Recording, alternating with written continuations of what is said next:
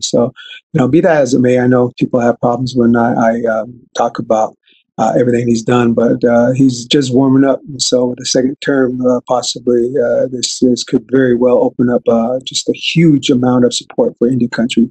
Um, we've been in discussions with. Uh, the leadership there and the, the White House, and there's um, many more developments happening. So we appreciate it. I'm thankful for Operation Warp Speed.